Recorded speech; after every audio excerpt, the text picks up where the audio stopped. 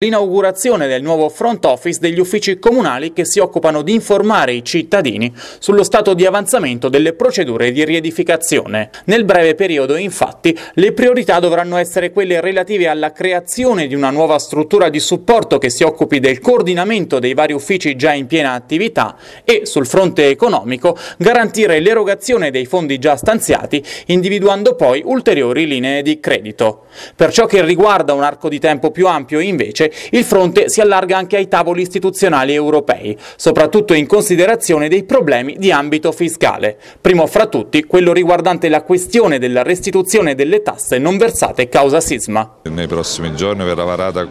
una nuova struttura che è in continuità con quella che c'era ma che assumerà una veste organizzativa e giuridica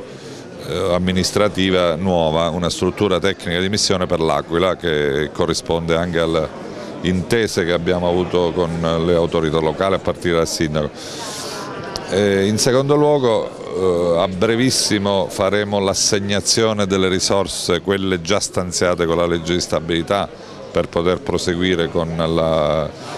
l'esame delle pratiche e la concessione dei contributi e stiamo lavorando per completare la risorsa finanziaria necessaria per andare avanti per il 2014.